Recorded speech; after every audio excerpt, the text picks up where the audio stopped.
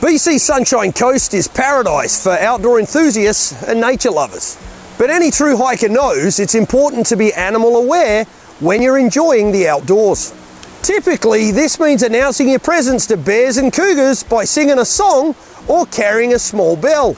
Modern answers to this problem include radios and Bluetooth speakers. But bells can fall off and batteries can go dead. I recognised there needed to be a more reliable solution to this problem. This is a wireless micro resonation unit that will transform any solid object into a waterproof speaker. By attaching MRUs to benches, rocks, trees and almost anything else, we're able to create a network of wireless speakers that emit sounds designed to scare away dangerous animals.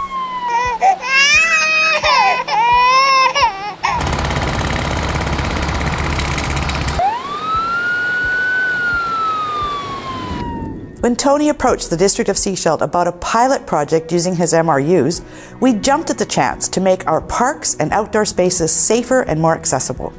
In the weeks to come, a municipal crew will complete the installation of 85 MRUs throughout Kinnikinnick Park in Sechelt.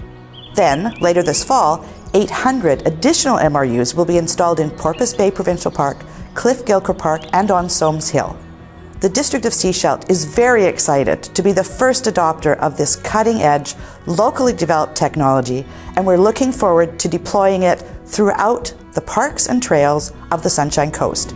My favourite part of hiking is disconnecting from the hustle and pace of urban life.